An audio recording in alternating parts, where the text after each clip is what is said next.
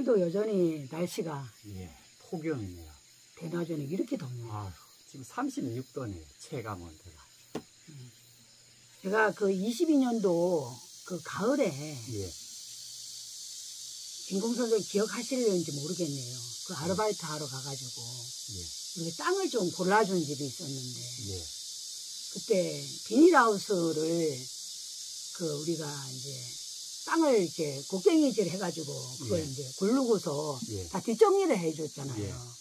그런데 물을 아무리 뿌려놔도 그 단단해가지고 예. 땅이 안 빠져가지고 진짜 꽤 애를 먹었거든 예. 이틀 동안에.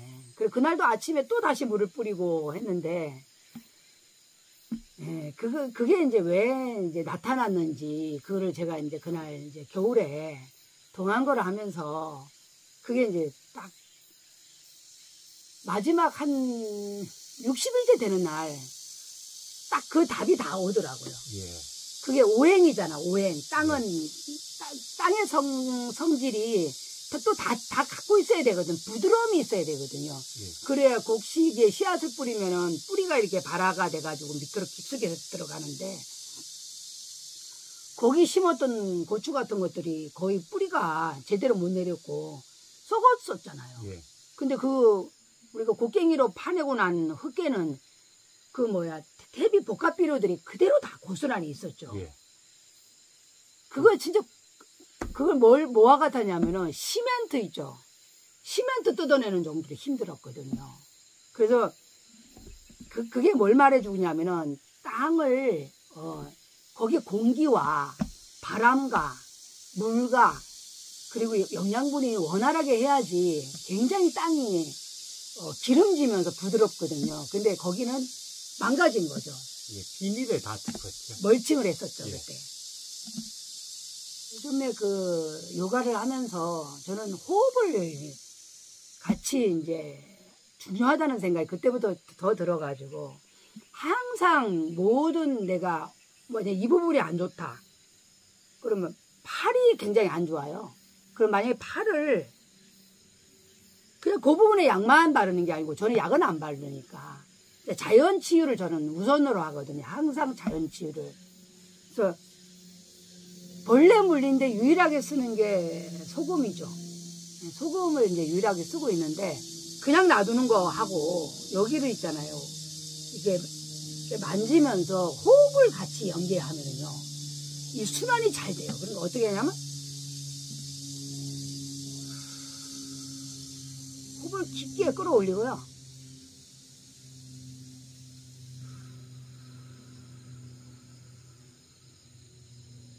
그러니까 모든 모- 몸이 몸도 왜 내가 이제 아픈 사람들을 가만히 이렇게 그때 많이 많이 또 상담도 많이 했고 제가 지리산에 있을 때도 아픈 사람들 인연이 좀 많았어요.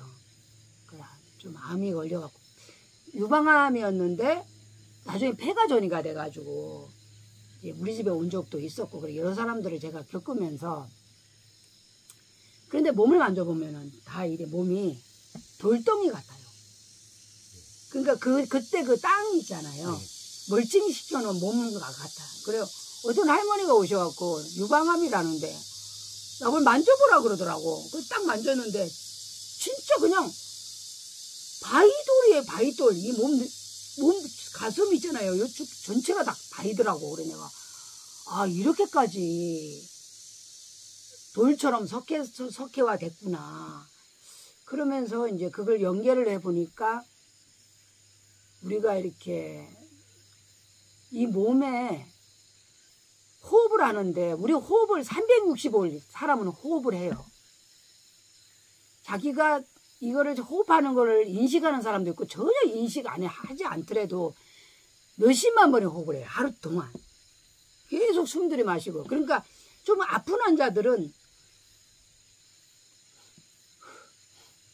이렇게 호흡이 되더라고요. 그 폐암 환자도 봤어요. 그 연계 여기에 산소통 연결해 갖고 예. 숨을 가쁘게 가쁜 숨을 쉬잖아요. 가쁜 숨을. 그래서 일반 사람들 중에서도 몸이 좀 안 좋고 좀 힘들어하는 사람들 내가 가만히 유심히 보면은 걔이 행정관 밑에까지 호흡을 해요. 그러니까 목, 호흡까지 가.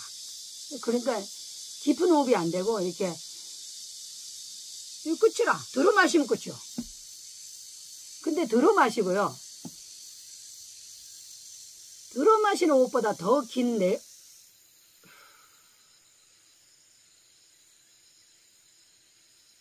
마시는 호흡보다 내, 내놓는 호흡이 더 길어야 돼요. 왜냐면 이게 호흡이 산소가 있으면요. 그 다음 호흡이 깊, 깊게 안- 못 들어와요. 들어올 것 같죠? 못 들어와요. 그래서 짧게, 짧게 나가버리면은 다음에 산소 들어올 때 많이 들어올 수 없고요. 그 산소는 어떻게 되냐면 우리 활성산소라는 이야기 들어봤죠.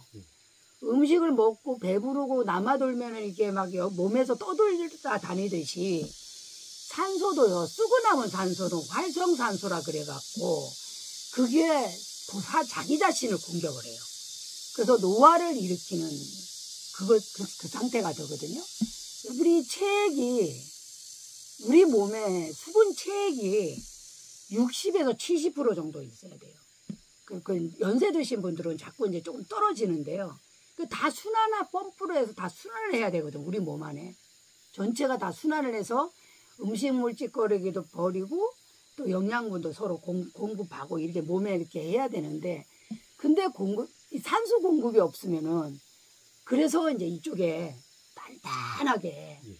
몸이 이렇게 단단해지거든요. 예. 어, 그래서 이 깊게 말하기는 좀 어려운데 어, 머리가 아프다고 하면서 당장 뭘 합니까? 타이레놀 같은 거 약을 사다 먹어요. 예. 그 근원적으로 해결을 할 생각을 안 하고 우리 몸은 원래 자연 치유가 되도록 다 돼 있어요. 모두 다 완벽하게 돼 있는데 어, 기능을 상실했어요.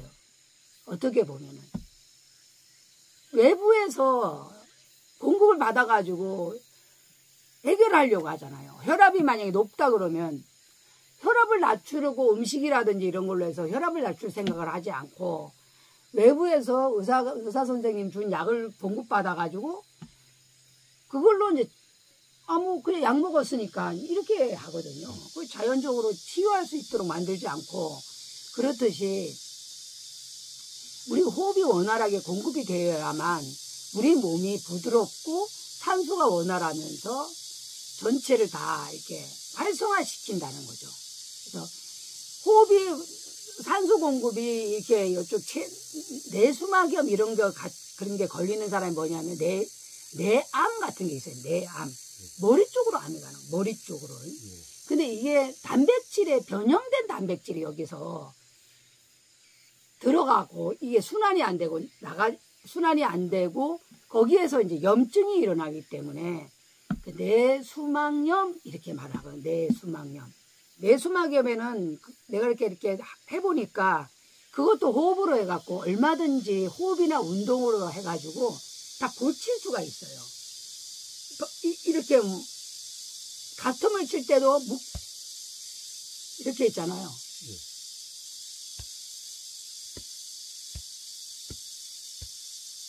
이렇게 하든지 이렇게 해서 두뇌까지 쓸 수 있는 그 두뇌 운동이 있거든요. 손을 이렇게 하고 엄지만 이렇게 돌리고 그 다음 돌리고 그 다음 중지만 중지끼리만 돌리고 그 다음 요까지만 돌리고 그 다음에 새끼만 돌리고 이게 안 되는 경우가 많아요. 이게 어떤 분야가 안 되면은 그래서 다른 거를 일단 우선 우선 이제 오늘은 다른 거는 이제 다 접어두고 그냥 이게 숨을 이제 깊게 숨을 들이마셨을 때요.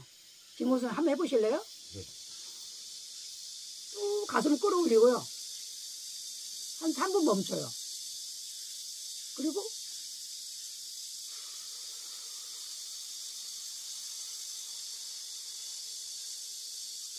만약에 3분이 숨을 들여 마시고 3분을 멈췄다면요. 5분 정도, 6분 정도는 숨을 내쉬, 내는, 내는 숨을 더 많이 빼내, 빼내야 돼요. 초. 어. 손이 아니고. 뭐, 6초? 예. 6초? 예. 어. 3초 하면 6초는 이렇게. 그렇지. 내쉬어야 돼. 3초를 들이마셨고, 만약에 3초를 들이마셨잖아요?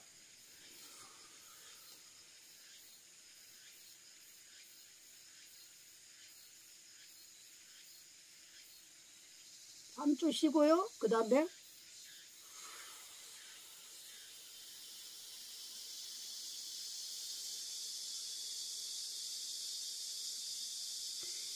내쉬는 심을요 아주 가늘고 길게 빼야 돼요. 그 요가에서 어떤 동작을 하는데요. 여기다가 목을 알고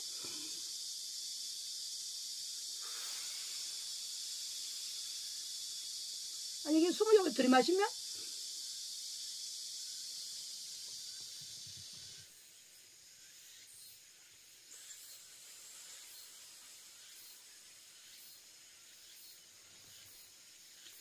그래서 우리가 항상 그냥 아 내가 숨을 들이마신다 이렇게 어 이거를 좀 더 이제 깊은 그 호흡 후- 훈련을 하려면 들이마시는 숨을 확인했을 때 그 다음 동작 있을 때 내쉬, 내쉬는 심을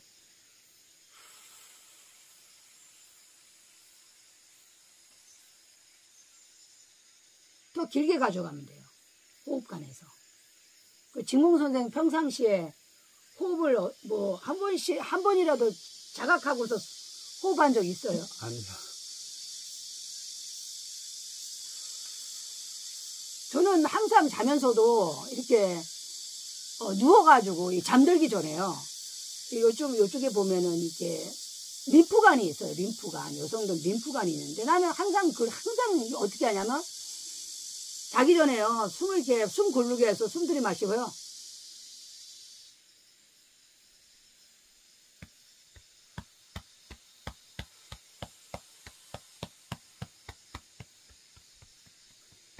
두드려 주든지 비벼 주든지.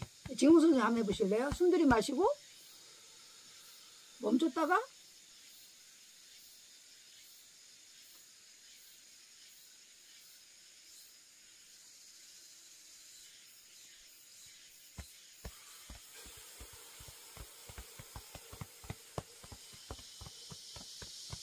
횡격막까지 운동을 횡격막까지 끌어올리는 운동이 돼야 돼요. 그래서 그걸 제- 나는 이제 장기 운동이다 이렇게 하는데 그 장기 운동하는 거 나중에 좀 하더라도 일단 우선시할 게 어떤 호흡을 할 때 깊은 호흡을 항상 하시고요. 이렇게 깊게 호흡을 해야지 이 산소 뇌까지도 호흡이 올라갈 거 아니에요. 전체가 이렇게 순환을 할 거 아니에요. 체액이 체액이라 그러죠. 체액 세포 막 사이에 또 이게 수분이 또 다니는 길이 있잖아요.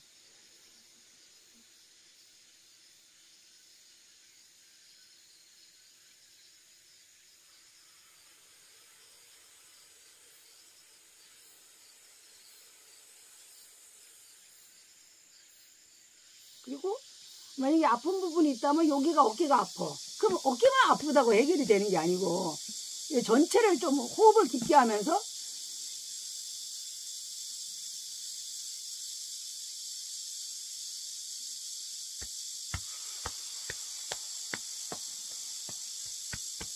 그 림프 주변 언저리까지도 같이 해줘야 같이 풀려나가는 거죠. 예. 언저리까지도. 이쪽 어깨가 아파? 그럼 이쪽을 물론 돌리는 것도 중요해요. 돌려가지고 풀어주는 것도 중요한데 이렇게. 근데 한 번씩 숨을 이렇게 숨을 깊게 이쪽까지 호흡을 들여 마셔줘 갖고요.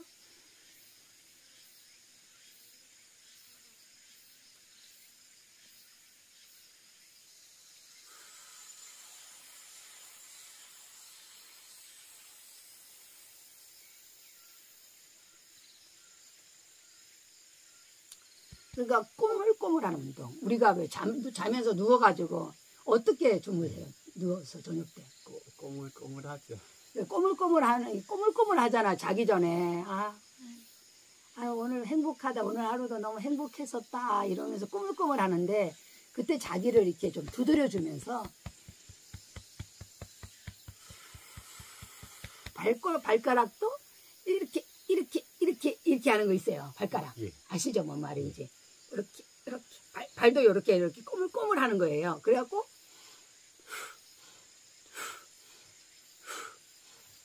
이렇게. 예.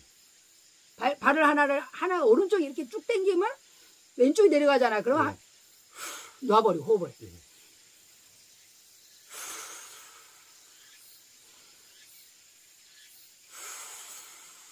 이렇게. 예. 그래서, 이 몸도 이렇게 꾸물꾸물 꾸물꾸물 이렇게 몸을 있잖아요. 그리고 일어날 때도 보통 보면 막 기지개 키면서 일어나잖아요. 예. 꾸물꾸물 하면서 이렇게. 이렇게 일어나갖고 할 때,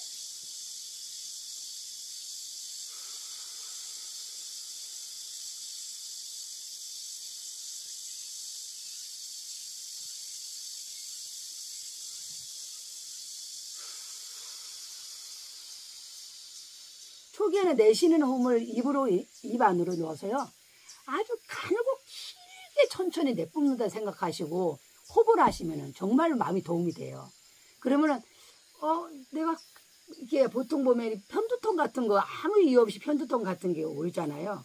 그것이 아마 산소 공급이 원활하지 않고 순환이 잘 안 되기 때문에 그러는 것이거든요.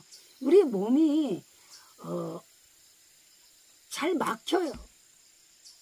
지방 덩어리가 그 우리 장을 잘 막, 막, 막고요. 내장 지방이 막고요. 또 피하 지방도 막고 장기와 장기 간의 사이에도 이소성 지방이라 그래갖고 어, 가행된 지방들은 이렇게 각 장기에 붙어요. 근데 그게 잘 안 없어지거든요. 그러니까 이 호흡이 산소가 이 몸 안에까지 공급이 잘 안 돼요. 그래서 우리 모든 어른들이 생각을 하는 게 어떤 생각을 하시냐면 무조건 잘 먹으면 된다라는 그 옛날에 있잖아요. 잘 먹으면 된다라는 그 생각만 하고 계세요. 그러지 마시고 호흡이 잘, 잘 돼야 된다는 생각을 하셔야 돼요. 산소가 온 몸에 원활하게 공급이 돼야 된다고 생각하시고 아, 어디 가서 산에 올라갔는데 그냥 뭐, 뭐 좋다 공기 좋다 이런 게 아니고 공, 산소를 공기가 있으면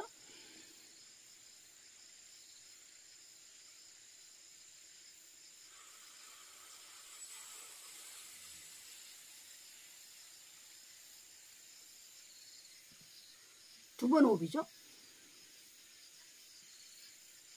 가슴은 완전히 횡격막을 열고요.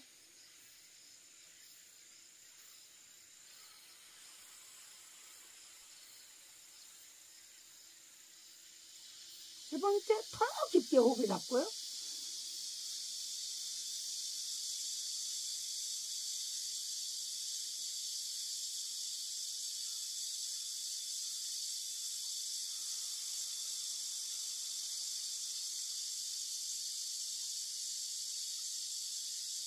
그래서 손도 이렇게 따로따로 한번 돌려보고 엄지도 엄지끼리 이렇게도 돌려보고요.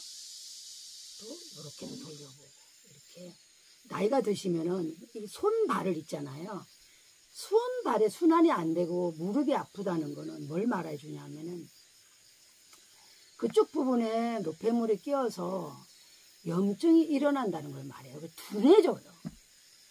다리 같은 경우도 둔해지고요. 고관절 같은 데가 갑자기 그전에는 산을 아무리 타도 이 고관절 같은 게 안 아팠는데 아파오게 하거든요. 그래서 내가 내 삶 속에서 그 이게 수- 가만히 요즘 도시에서 어때요? 밖에 나가면 차 있죠. 아파트 들어오면 엘리베이터 있죠. 집안에 집안에 올라가면은 뭐 세탁기 냉장고 있고 뭐 필요한 거 다 있잖아요. 그러면 예. 크게 노력해서 하는 그 정도의 활동 많이 안 한다는 거예요. 거의 다. 동선이 그래요. 거의 아파트 동선 뻔하잖아요. 그죠? 네. 다 동선이 그 앞에서 움직이는 건데 여기는 어때요? 활동해야 되지. 여기는 뭐 먹으려면 밤 주스 와야 되죠. 그럼 예. 밤 까야 되죠. 예. 그럼 실수로 계곡 나가야죠. 그럼 뭐 다 준비해 와갖고 뭐, 그 여기는 옛날에 채집하고 하는 거랑 비슷하거든요. 나는 늘상 내가 오늘 필요한 식량이 있을 때 나가가지고 활동을 해요. 근데 활동을 할 때 그냥 하지 않고 나는 호흡을 동반하거든요. 이렇게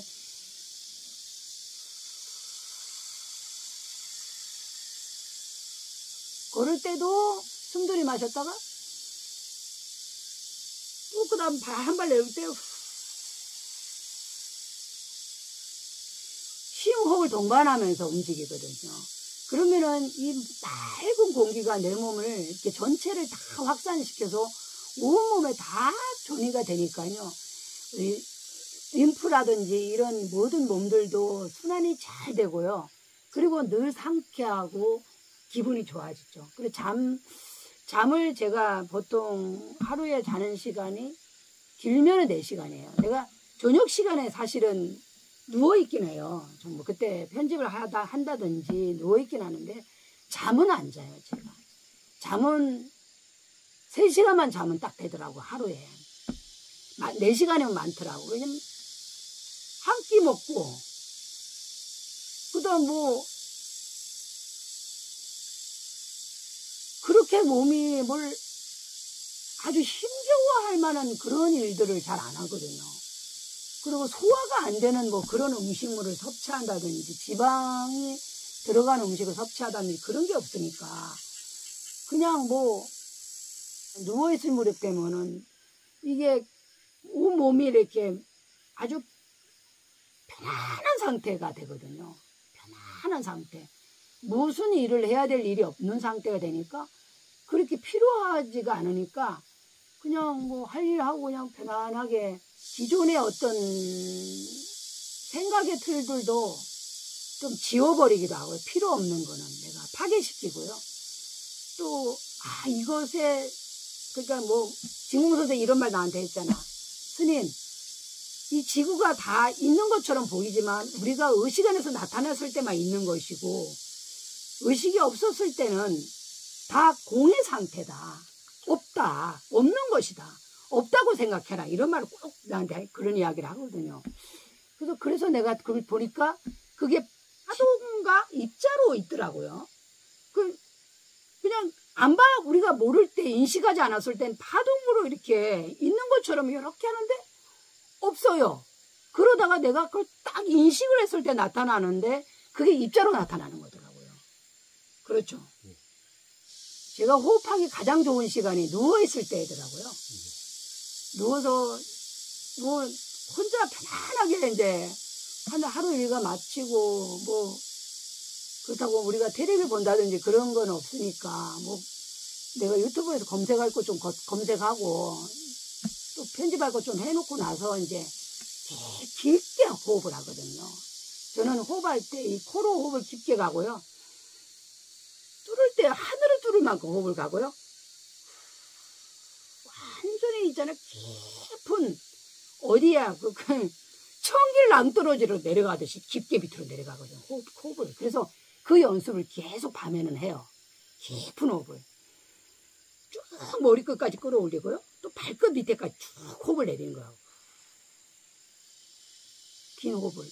그러면은 굉장히 컨디션이 명쾌해지고요. 그리고 욕망이 사라지죠. 욕망이. 진공 선생은 어떻게 밤에 어떻게 주무시는지요? 그냥 뭐잠올 때 잘 자는지. 잠만 오면 잘 자고. 예. 또눈 뜨면 어떻게 눈을 뜨세요? 진공. 자연스럽게. 그래 기분이 어-. 기분이 어떠세요? 이렇게 눈을 뜨시면 기, 기분이요? 고요하고 평화롭죠. 늘 그래요. 예. 잘 거의 진공 상태에 머무르는 것 같아요. 아무런 할 일도 없고요. 걱정이 있습니까? 뭐 할 일이 있습니까?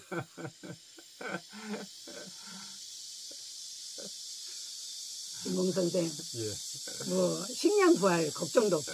예. 식량 누가 누가 구해옵니까? 스님께서 것. 그럼 진공 선생 무슨 일 하십니까? 제가 뭐 늘 하던 거 청소나 하고요. 설거지나 하고 그렇죠. 뭐. 식량 채집이 다 끝나면 보통 저는 6시에서 움직이거든요. 6시에 움직이면 여름에는 좀더 일찍 움직였죠. 5시부터. 그러면 이제 뭐 9시나 10시나 이제 이렇게 되면 다 끝나면 이제 싹 끝나고 나면 이제 그때 뭐 응? 그게 하루의 전부예요. 요즘은. 요즘은 벼에 이제 풀도 안 나가지고 벼에 풀 베는 일도 없어가지고 편안한데 호흡만큼 중요한 게 없다. 호흡길에서 생사, 생로병사가 다 달려있더라고요. 예. 여기서 태어났고, 여기서 늙었고, 병들고요. 호흡이 잘못되면요. 여기서 죽는 거예요. 호흡 한 번, 호흡이 멈추면은 죽죠. 그 생로병사가 이 호흡 끝에 달려 있어요. 태어났을 때는 아무것도 없는, 모르는 무지의 상태였는데, 이제 제가, 아, 이제 통틀어서 알겠더라고요. 호흡이 얼마나 중요하면, 어, 왜 들어쉬는 호흡보다 내쉬는 호흡이 더 중요한가? 우리가 만약에 계속 끌어들이기만 하면 어떨까요? 쌓이고 쌓이고 쌓일 수밖에 없죠. 왜 어머니들 왜 저, 저장 강박증 같은 게 있어가지고 막 집안이 온통 온갖 쓰레기장으로 만들어 놓는 경우 예. 있잖아. 하나도 버리지 않기 때문에 그러는 예. 거거든요. 근데 호흡을 끌어들이기만 하고 굉장히 위험하다는 거죠. 힘들으니까 호흡은 끌어들일 줄 아는데 내쉬는 호흡이 빈약하다? 위험하다는 거죠. 내, 들으시는 호흡이 있는 만큼의 배를 더 내셔야 된다. 내쉬는 호흡을 중요하게 생각하셔야 돼요. 그래서 어, 요즘 호흡 호흡 요가라든지 이런 것을 이제 요즘 찾아보면 나와요. 음. 그래서 공부를 좀 하셔야 됩니다. 한꺼번에 다 알려드릴 수는 없고 그래서 또 다음에 또 제가 마음에 아 이 이렇게 걷고 이런 호흡을 여기서 이때 필요하겠구나 하고 할 때 다시 영상을 올려가지고 예, 여러분들과 저의 생각들을 한번 나눠보도록 하겠습니다.